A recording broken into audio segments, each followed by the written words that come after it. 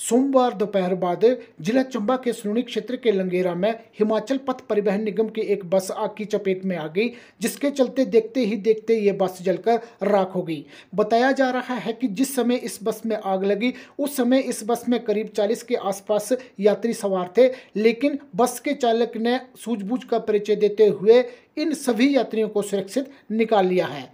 बहरहाल, मौके पर पहुँची अग्निशमन विभाग की टीम ने आग पर काबू पा लिया है और अब इस बस पर किसी भी प्रकार का कोई खतरा नहीं है।